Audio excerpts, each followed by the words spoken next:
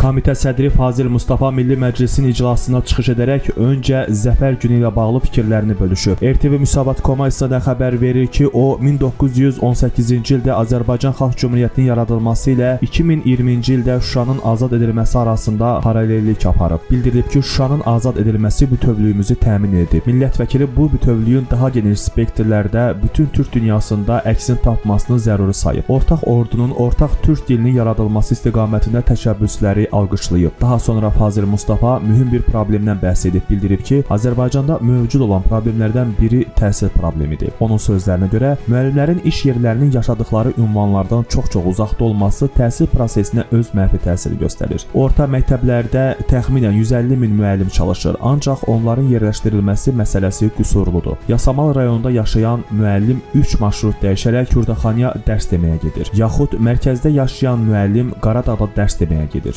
Düşünürəm ki, bunu qruplaşdırmaq olar və bunu etmək nə böyük bir problemdir. Deputat deyib ki, müəllimin də qayğıları, sosial problemləri var və vaxta qənaət onun üçün vacibdir. Gün ərzində 4-5 saat yola sərf edən müəllim də çalışacaq ki, dərsi tez başa vurub evinə getsin. Heç şübhəsiz ki, bu da təhsil, tədris prosesinə öz mənfi təsirini göstərir. Deputat qeyd edib ki, tıxacların yaranmasının bir səbəbi də elə budur. 150 min müəllimin yerləşməsini elə sistemləşdirməliyik ki, onlar vaxtında məktəbə çata bilsinlər. Bu məktəbdə dərsin keyfiyyətinə də təsir edir. Müəllimin də ailəsi var, sosial həyatı var. Bu məsələni həll edə bilməsək təhsildə problemlər qalacaq. Azərbaycanda Çindəki qədər milyonlarla müəllim yoxdur ki, onların problemləri həll olunmasın. Ona görə də bu məsələnin diqqətə qalmasını istəyirəm.